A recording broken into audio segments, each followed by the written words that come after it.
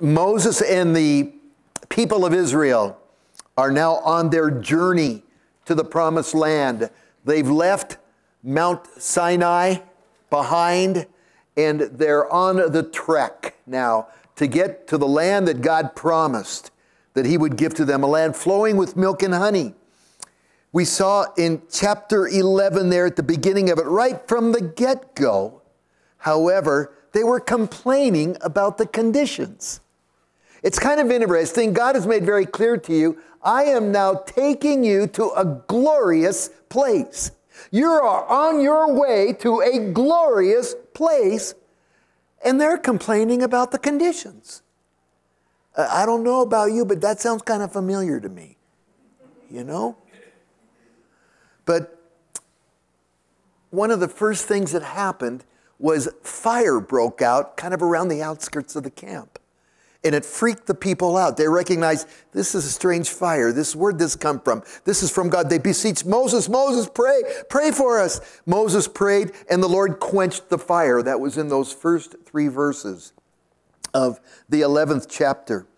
And you can sort of see that based on what happened there as th- this was a wake up call from God to these people. And basically it was it was sort of like quit complaining.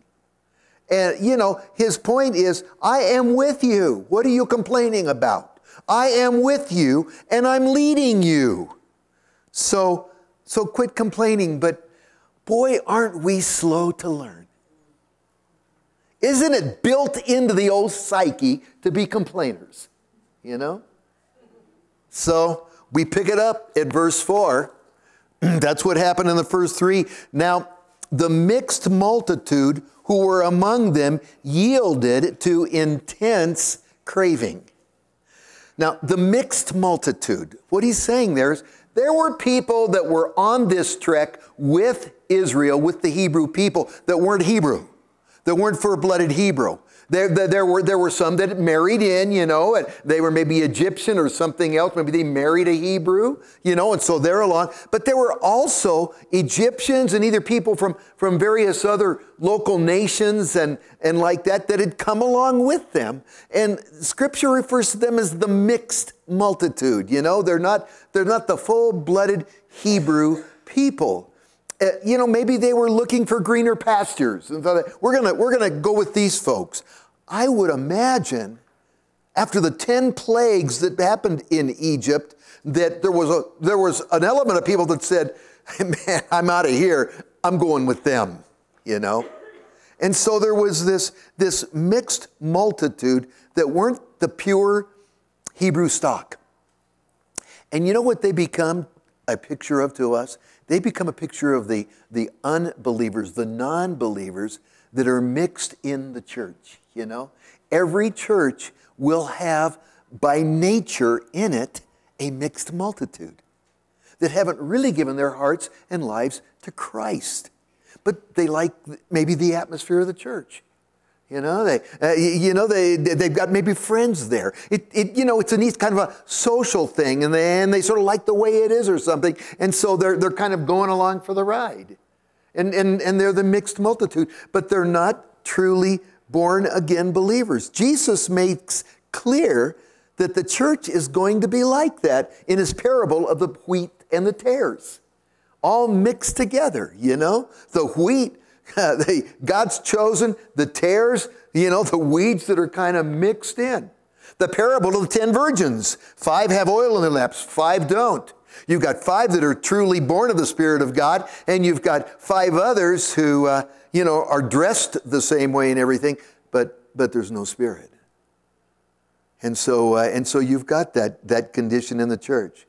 And it's saying, it's saying now as they're going along, it's this group that, as it says here, yielded to intense craving. That's one word in the Hebrew. And they're, trying to explain it. But the idea is is that they, they were lusting in, in, intently. They'd gotten into just intense lusting, you know?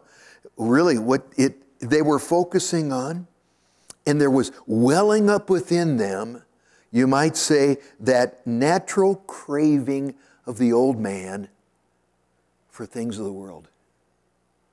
You know? The, the, the attractiveness of, of things of the world. And, uh, and you, you begin, they begin focusing on that and thinking about that. And there's sort of a welling up inside of that, that natural craving that can go on, which is totally of the old man, the old nature. That's, that's the nature of, of lusting. And when you kind of let that go, I mean, it can build up into a frenzy. Pretty soon you're saying, I gotta have, I gotta have, I gotta have, you know? And it just sort of takes over, and that's, that's what's going on here. That's, that, that, that's what's happening in the camp. Well, look what happens going on. So the children of Israel, now these are the, this is the Hebrew stock, also wept again and said, Who will give us meat to eat? We remember the fish which we ate freely in Egypt, the cucumbers, the melons, the leeks, the onions, and the garlic. But now our whole being is dried up, and there is nothing uh, at all except that this manna before our eyes. You know, you know they've been, uh, they're sort of remembering you know some of the some of the niceties that they, they had in egypt. They've been over a year out in the wilderness now and they're craving some of the things of egypt. What's interesting about that is egypt symbolizes for us the world the things of the world the attractiveness of the world and you know they're they're, they're beginning to you know they just desire some of those things of egypt uh, thinking of the the what the world has to offer the flesh. And it's interesting. You can get in that kind of a mode and you forget. It's easy to forget uh, the, the bondage and, and the, the suffering, uh, the, the, the misery that was there as you just, you know, remember the goodies. And so, and so th- that's what's going on here. What's interesting, this complaining began with the mixed multitude but now it's infected the, the, the, the people themselves, the quote unquote, the believers themselves. That reminds me of what we're told in Hebrews chapter 12, verse 15, where we're told, looking carefully lest anyone fall short of the grace of God, lest any root of bitterness springing up cause trouble, and by this many become defiled. You know, it's interesting. You get in a, a, complaining mode, how easy it is to pick that up. You know, somebody starts complaining about somebody, and pretty soon you're going, Yeah, yeah, I know what you mean. Yeah. You know, as I think about it, I agree, you know? And, and complaining can just, can just snowball that way, and that's what's going on. Now, God has faithfully supplied, faithfully supplied this bread from heaven, this manna for them to go out and gather freely. And it's been God's provision for them. But now they're complaining against God's provision. That's what complaint does.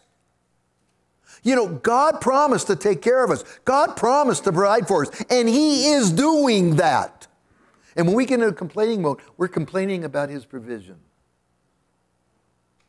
So, that's, what, th- th- that's what's going on here. Look what he says going on in verse 7. Now the manna was like coriander seed. Let's talk about that manna for a minute, he says, that they're complaining about. The manna was like coriander seed, and its color like the color of bdellium. The people went about and gathered it, ground it on millstones, or beat it with the mortar, cooked it in pans, made cakes of it, and its taste was like the taste of pastry prepared with oil and when the dew fell on the camp in the night, the manna fell on it. Wow. You know what he's saying? Manna was great. Manna was really good stuff. It was the bread of heaven, it was God's food for them, and it was good. It's interesting and intriguing to me that Jesus uses the manna to describe himself. He says in John, he says, you know, your fathers ate manna in the wilderness, and, and, and that was from God. That was the bread from God, and they died. Well, guess what? I am the bread of life. You eat this bread, you'll live forever. The bread I give is my body, it's myself to you. Think about that for a minute. And then look at the manna. He related himself. He said, I'm the eternal bread from heaven. And, and you know, you just sort of consider the manna, sort of interesting. The manna came, as it were, from heaven, and it was from the Father for the people. Jesus came from heaven, from the Father for the people. It was a free gift to them, as Jesus is. That color of the manna was white. White is symbolic of the righteousness of God. And then it, it, it, came right to where the people were. Wherever the people were, that's where it came. It came out in the wilderness for them. You know what's interesting? In, in Exodus 16 and Numbers 33, it's called, grab this, the wilderness of sin. Isn't that interesting? That's the name of it. And God sent the manna out there for them. Each one had to receive it. You couldn't sit in your tent, you had to receive it personally. It was very adequate. They ground it, they beat it, they cooked it.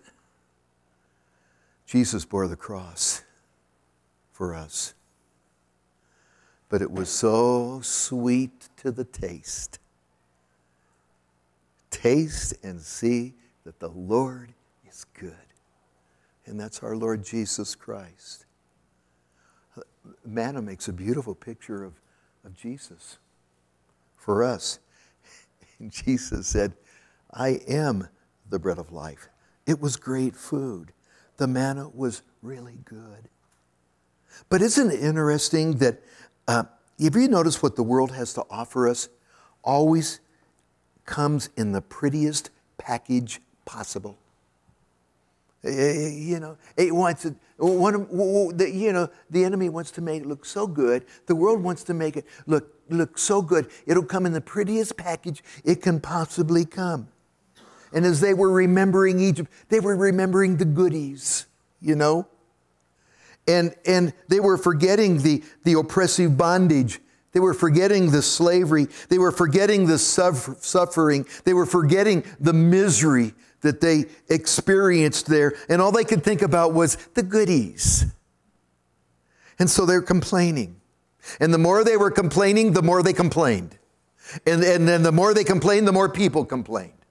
And pretty soon, the whole camp is just crying and complaining. And they're looking at the manna and going, Yuck, I don't want manna. So, verse 10 Then Moses heard the people weeping throughout their families, everyone at the door of his tent, and the anger of the Lord was greatly aroused. Moses also was displeased. So Moses said to the Lord, he's going to go to the Lord with this. Why have you afflicted your servant? I've got to admit, I think I've said that prayer myself. Why have I not found favor in your sight that you have laid this burden of all these people on me? Did I conceive all these people? Did I beget them? That you should say to me, Carry them in your bosom as a guardian carries a nursing child to the land that you swore to give to their fathers? Where am I to get meat to give to all these people? For they weep all over me, saying, Give us meat that we may eat. I am not able to bear all these people alone because the burden is too heavy for me. you think he's turning in his resignation? I mean, you treat me like this, please kill me here and now. You're not treating me very nice at all, God. If I have found favor in your sight, do not let me see my wretchedness. Oh, I'm sick and tired of this. There's Moses, all that complaining all that discontentment has just discouraged God's servant. And he is one discouraged man right now. It's to the point where, Lord, just take me out. Get me out of here. Is this what you have for me? This is what you've given me? Thanks a lot, God. That's what you see him feeling right here. You know, complaints. Complaints can seem reasonable. There is a, a sense of, yeah, reasonableness about complaints. But you know something? Complaining is diametrically different than requesting. You see, our Lord tells us, make your requests before me, but do it with thanksgiving. The heart of thanksgiving. Don't be anxious about anything. Come to me with your request. But, brethren, complaining comes from a heart of discontentment. Doesn't the Lord say, godliness with contentment is great gain? And complaining comes from a heart of discontentment. And that is an evil and an unbelieving heart. And the infection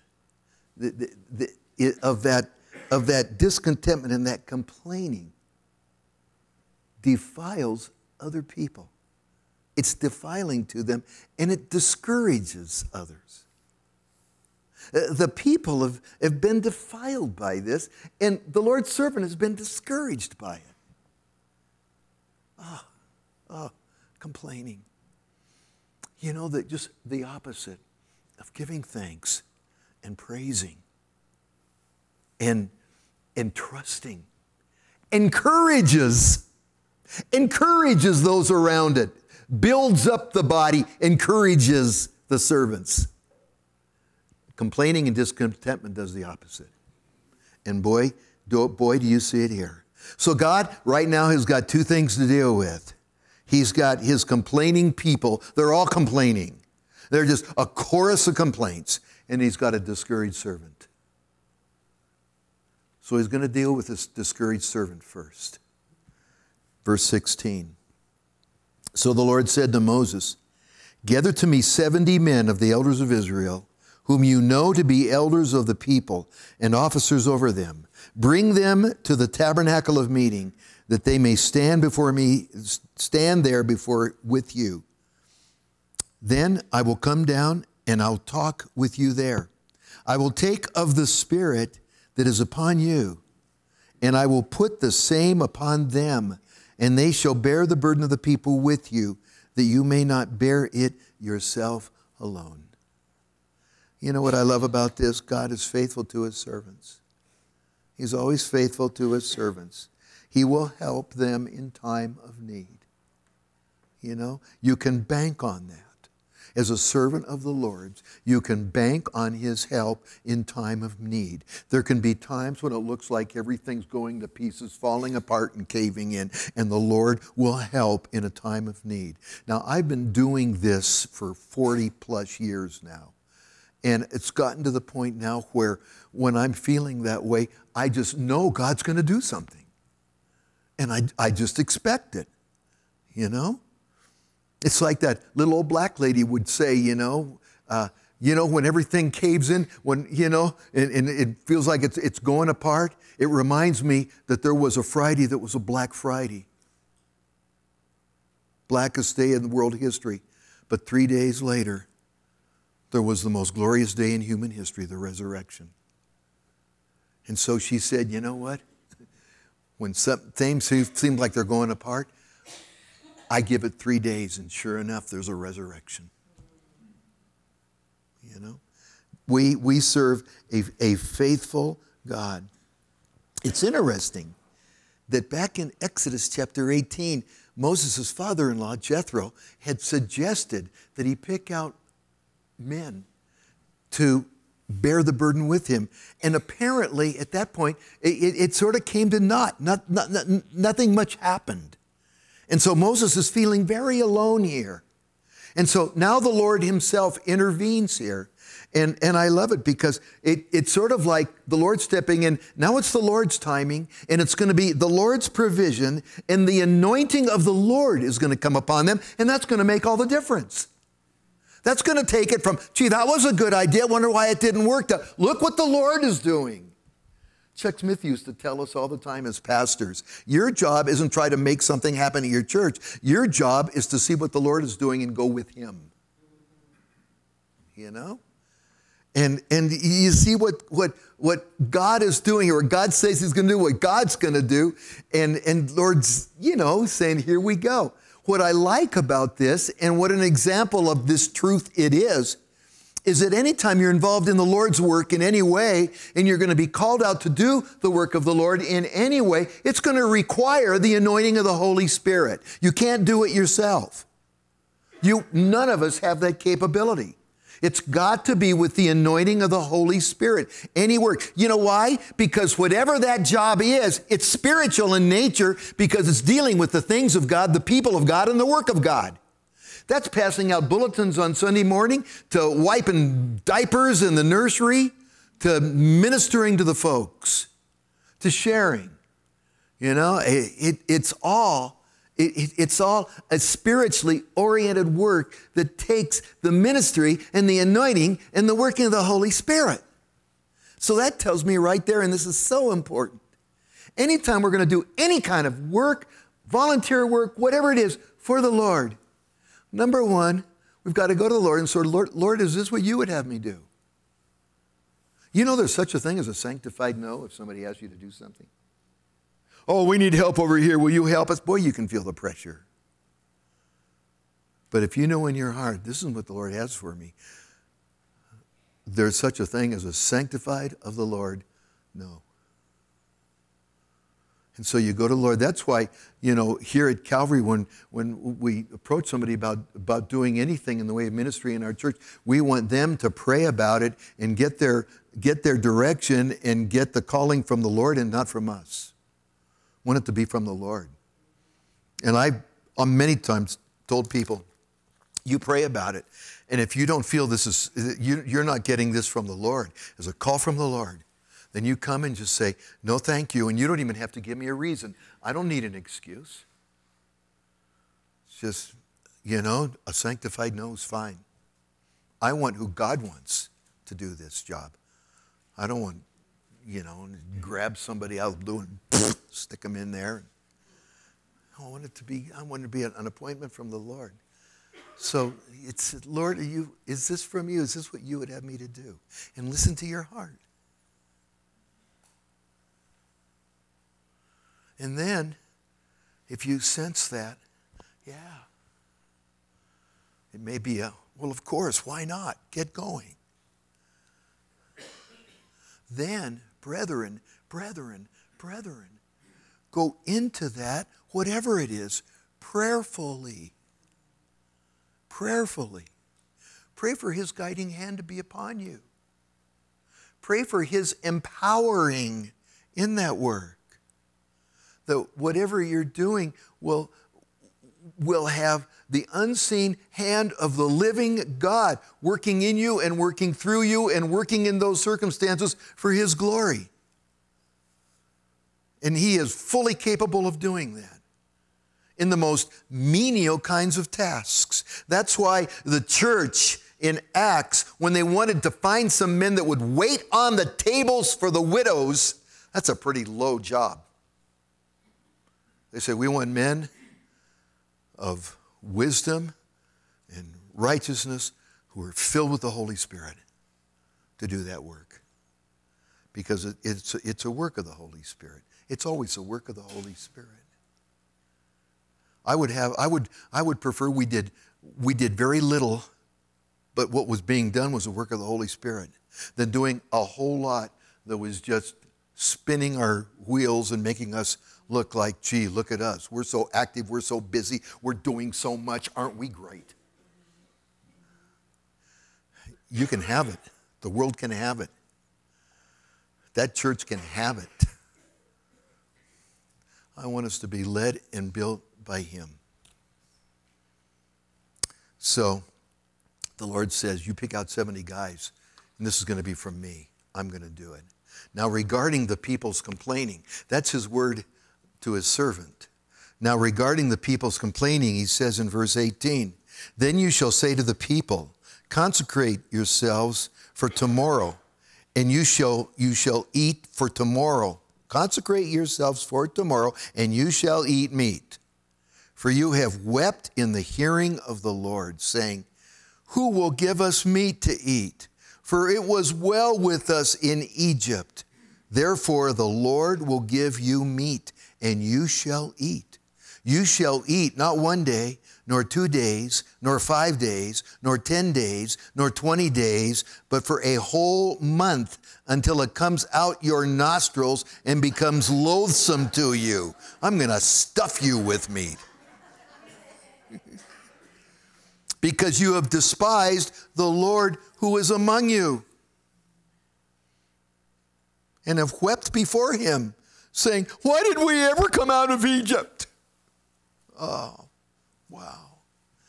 You know, there are times when the Lord will answer an unwarranted request.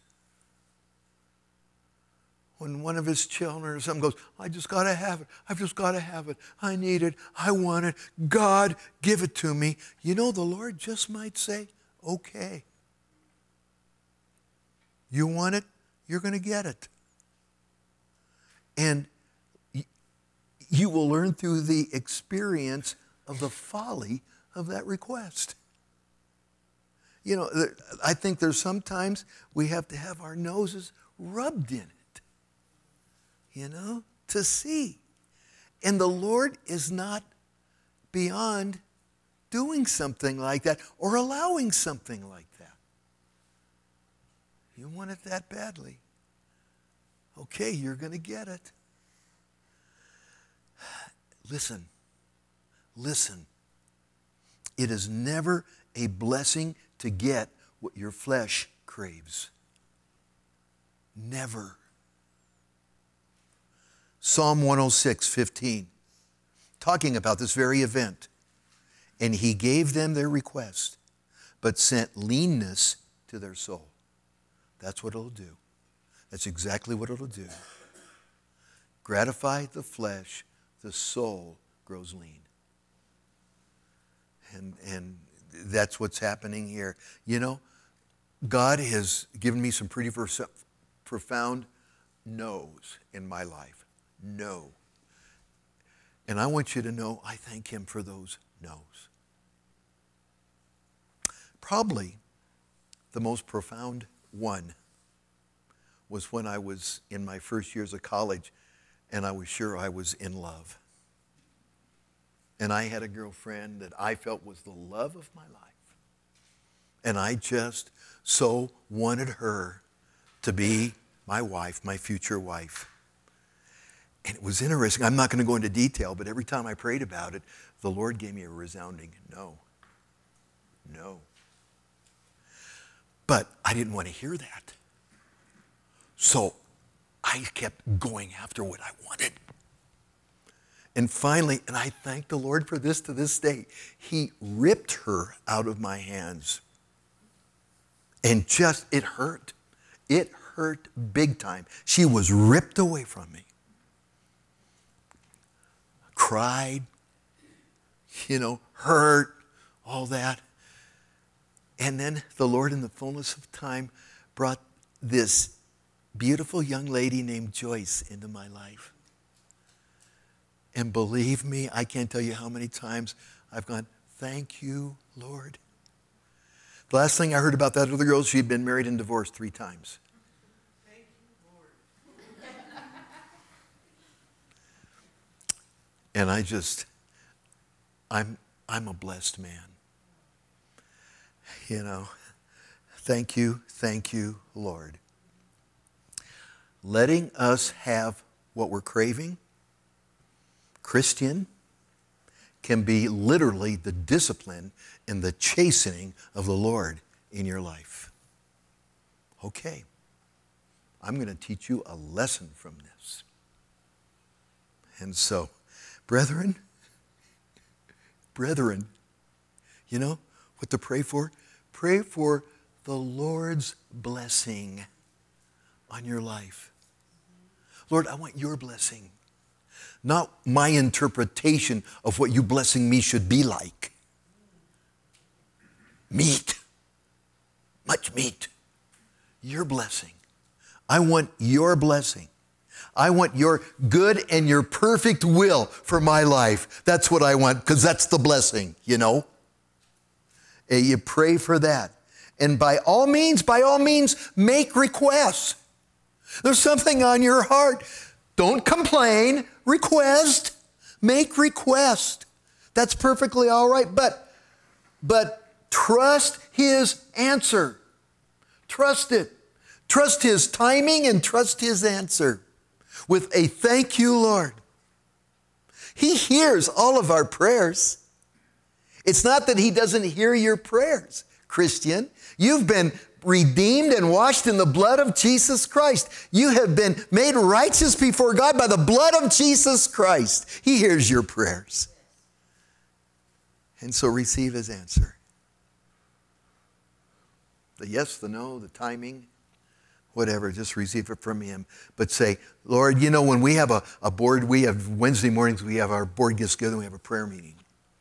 And we, we pray for this body. We pray for you guys. We pray for all kinds of things. We just, you know, we just have a time of prayer together. And I usually wrap it up. And one thing I'm sort of in the habit of saying is, Lord, thank you for being able to just come before your throne, that you invite us to come before your throne and make requests before you. And now, Lord, everything that we've prayed here, we just pray over the top. We pray over all of it. Your will be done. You know? so, so, anyway, the Lord is saying, okay, they want meat that bad? They're going to get it.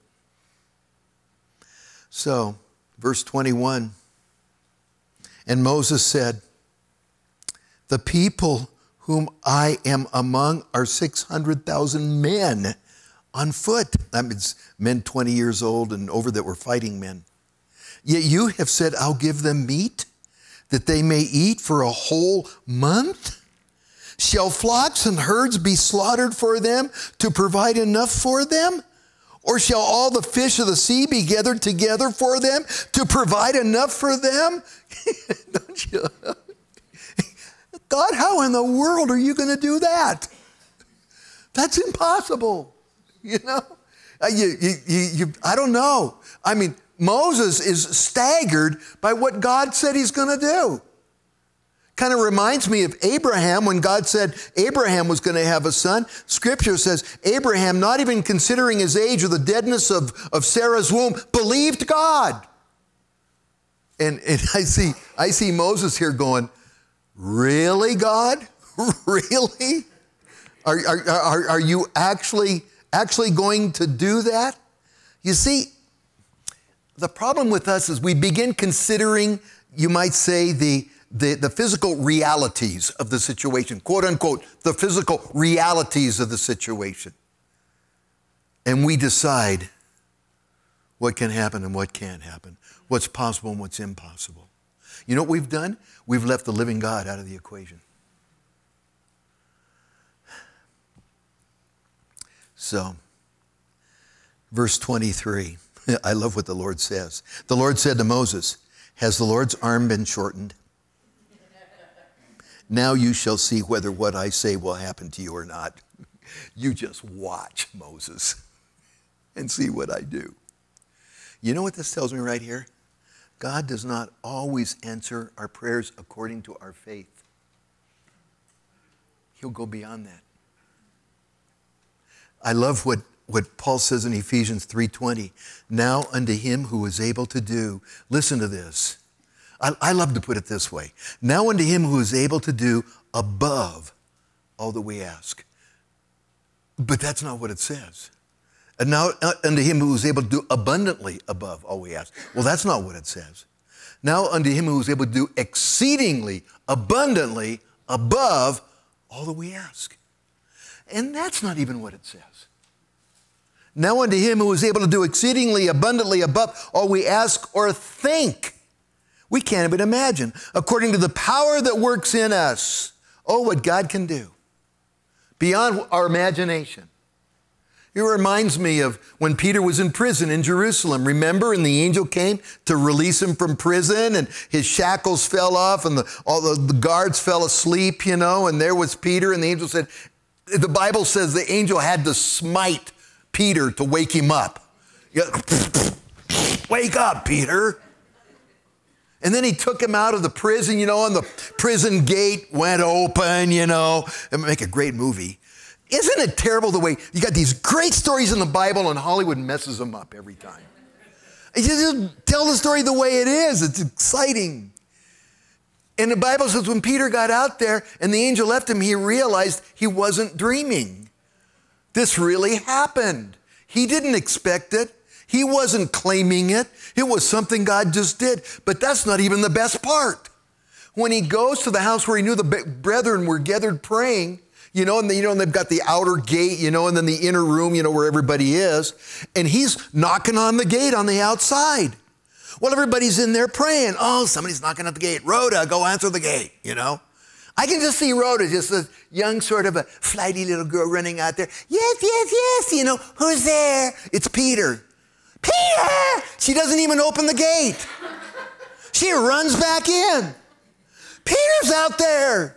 Oh, these first century believers, such faith. Rhoda, you're stupid. I'm going to add a little bit here. But it's basically what's being said. Rhoda, now I want you to think, Rhoda. Think for a minute. What are we praying about? We're praying because Peter is in prison. He can't be out there because he's in prison. But he is, he is, he is. And so they all go out there, and sure enough, there's Peter. Now unto him who is able to do exceedingly abundantly above all that you ask or think according to the power that works within us. And God's not above doing that. And so he said, Moses, watch and, and see what I do here. You know, God delights in doing things like this for his servants. Now, hear me, hear me, hear me. It's not a miracle of the way keeps the devil away. A miracle a day keeps the devil away. He's doing such mighty things you don't have a clue about. And you won't know till you get to glory. And I think one reason he does that, he doesn't want it to go to your head. Become a spoiled brat Christian. Keep us humble. But once in a while, he'll do something awesome like this in your life, in your ministry. He'll blow you away. And you'll give glory to him here and there. He likes to do that. And I guarantee you he will in your life, here and there. If you're watching and believing and saying, Yes, Jesus. That's why I've got this little journal of just, you know, my good news journal when things have happened in my life where the Lord just something so marvelous. I'll make a little note that I will not forget what the Lord has done. You know? So God says, here's what I'm going to do. So here's what happened, verse 24. So Moses went out and told the people the words of the Lord. Okay, Lord, he went out and just laid it out there. Here's what the Lord has said you know? And he gathered the 70 men of the elders of the people and placed them around the tabernacle. And the Lord came down in the cloud and spoke to him and took the spirit that was upon him and placed the same upon the 70 elders. And it happened when the spirit rested upon them that they prophesied, although they never did so again. Interesting. The Spirit has come upon these guys, and it's clear evidence to unbelieving Israel, doubting Israel, that these men have been divinely selected and empowered by the Lord Himself. And it was a one time affirmation to these people these are ones I have chosen and I am going to use and anoint for my glory.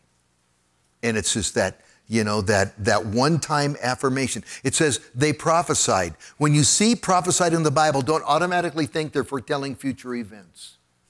because prophecy is a much deeper and richer word in that in the Bible than just foretelling future events. It is proclaiming in the power of the Spirit the good things of God. It can be exalting the Lord, it can be magnifying the Lord, it can be it can be sharing the nature, the heart, the majesty of God himself what was going on here is these guys were exalting the Lord in such a way that the people were going, That's powerful. That's the Lord. That's mighty. You know? That's what was going on here. And and once again, you know, it's just saying, God saying, This is my servant. And what I like about that is God makes clear in His Word that when He calls somebody out to be a servant of His in whatever capacity, that God will vindicate that servant, you know? He, he will vindicate that servant. We don't have to defend ourselves. We'll let God vindicate us. I remember a very hard time in my life. Um, Bev Blades came and he said, Brian, this is for you. And it was Isaiah 54 17. And it says, No weapon that is formed against you will prosper, and every tongue that accuses you in judgment you will condemn. This is the heritage, here's the point, of the servants of the Lord, and their vindication is from me, declares the Lord. So, you know what? That sets us free. We can let the naysayers go on and do their thing, and we can just carry on and be a servant of the Lord's. And so, and so God's making clear these are his guys. Then, verse 26, this is interesting. Two men that had remained in the camp, uh, the name of the one was Eldad, and the name of the other was Medad, and the Spirit rested upon them. In other words, they didn't come to the tabernacle like Moses asked them to do, they stayed out in the camp. Now, now they were among those listed, but who had not gone out to the tabernacle. Yet they prophesied in the camp. And a young man ran and told Moses, Eldad and Medad are prophesying in the camp. So Joshua, the son of Nun, Moses' assistant, you know Joshua, one of his choice men, answered and said, Moses, my Lord, forbid them. Don't let them do that. That's not right.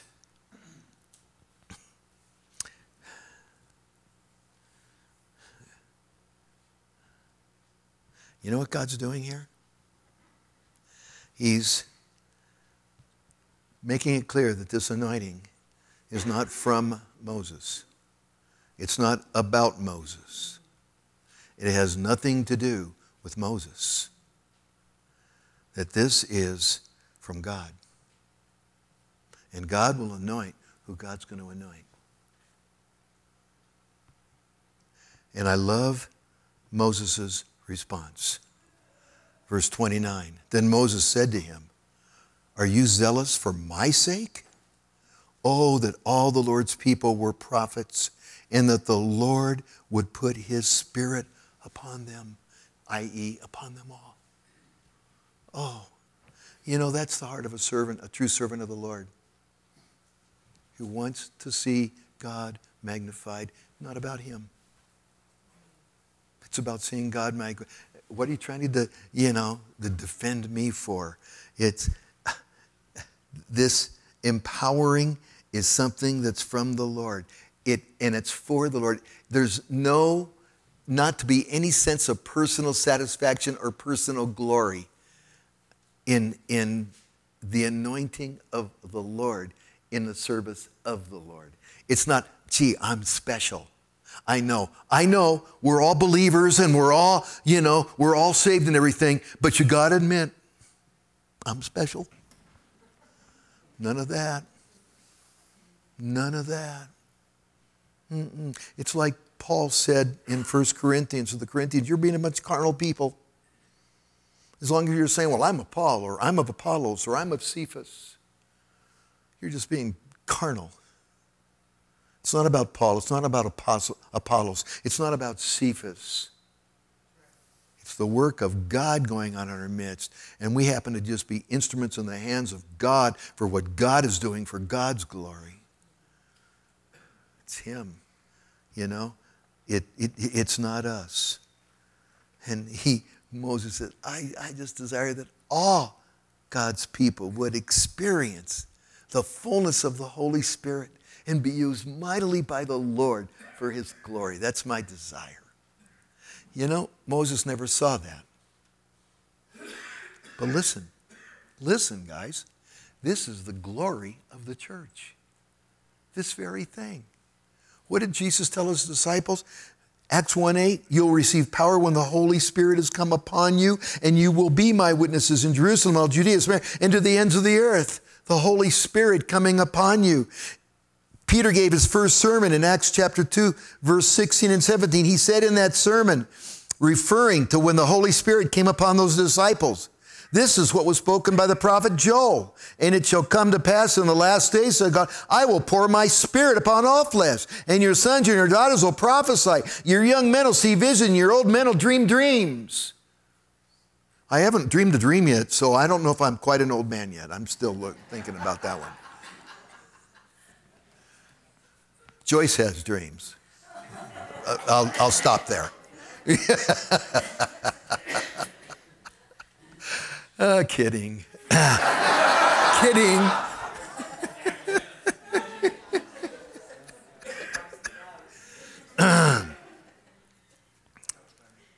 but, I mean, the Holy Spirit will be active in, in believers, the body of Christ. He says in that chapter, verse 38 and 39, Peter said to them, Repent, let each one of you be baptized in the name of Jesus Christ for the remission of sins, and you will receive the gift of the Holy Spirit. For the promise is for you and for your children and to all who are far off, as many as the Lord God will call. Isn't that awesome? The, the, the gifting and the empowering of the Holy Spirit. That that fell on those 70 guys, that spirit that was on Moses, is the spirit that's been given to us. Jesus Christ, the same yesterday and today and forever. You are, you, you are indwelt with that Spirit, Christian, by believing in Jesus, letting Him be the Lord of your life. That's nothing but powerful. No wonder Paul says, in the one commandment in relation to the Holy Spirit, Ephesians 5:18 says, "Do not be drunk in wine, which is dissipation, but be filled with the Spirit." And that's a passive verb. You know, it's not, it, it, it's let the Holy Spirit fill you. You know, be in control of your life. So, verse 30 so Moses returned to the camp, he and the elders of Israel. Now, that second issue about the people's complaining, verse 31 Now a wind went out from the Lord, and it brought quail from the sea and left them fluttering near the camp, about a day's journey on the, this side and about a day's journey on the other side, all around the camp, and about two cubits above the surface of the ground. Now, apparently, what is happening here is all these quail have been, in a sense, blown a little off course, and they're coming in you know, just a day's journey on either side of the camp. On either side of the camp, they, they, they're coming in masses of them at about two cubits level, about three feet off the ground.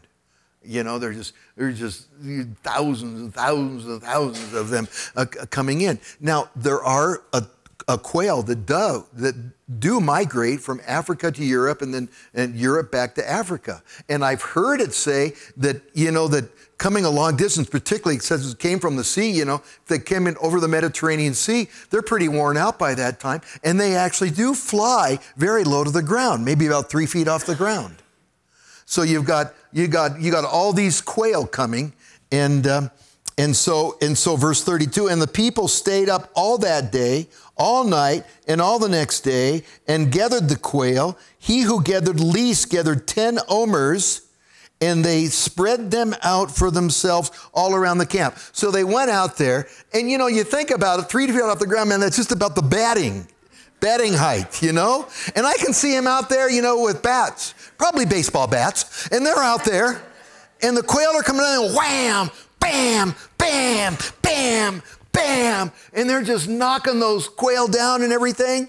And, and, and they're just 36 solid hours. They didn't even sleep that night. They're, they're getting these quail, man. Get them all, let's go. Getting good. They just keep coming and coming and coming. And they keep batting and hitting and batting and knocking them down. And so the person that gathered the least, 10 omers, is about 60 bushel baskets full. So they had 60 bushel baskets full of quail. And then they went and they spread them all out. You know, the idea there is, that you can just see them salivating and looking at all those quail. Cookie Monster time. Quail. Oh boy. Oh boy. We're going to feast now. Boy, are we going to feast, you know? And they're just so, you know, into it. Verse 33 But while the meat was still between their teeth, before it was chewed, the wrath of the Lord was aroused against the people. And the Lord struck the people with a very great plague. So he called the name of that place Kibroth Hattaavah, because there they buried the people who had yielded to craving. You know, make no mistake about it, brethren, their own gluttony led to that plague. It was a plague inspired by gluttony. Their own lust is what killed them. This is interesting because doing everything they could, you know, unbridled, going after the lust of their flesh did not satisfy them, it hurt them. It did not satisfy them it hurt them. Isn't that the truth? It's clear by the name that Kibroth Hattaavah, or something like that. The name means graves of craving. So it's so clear what happened there. the lesson. This is what happens when a person rejects the Lord and rejects his bountiful supply in favor of an unbridled appetite. It'll kill you. It'll kill you. So, eh, eh, Paul tells us that in Timothy 6, 6 to 9. Now, godliness with contentment is great gain. For we brought nothing into this world, it is certain that we can carry nothing out. And having food and clothing, with these we shall be content. But those who desire to be rich fall into temptation and a snare, and into many foolish and harmful lusts, which drown men in destruction and perdition. Boy, there it is. And then, rather than that, like he says to us in Romans 12 2, do not be conformed to this world, Christian, but be transformed by the renewing of your mind, that you may prove what that good and acceptable and perfect will of God is. Yeah. Prove out in your life. Amen. So, last verse here. From Kibroth Hattaavah, the people moved to Hazeroth and camped at Hazeroth.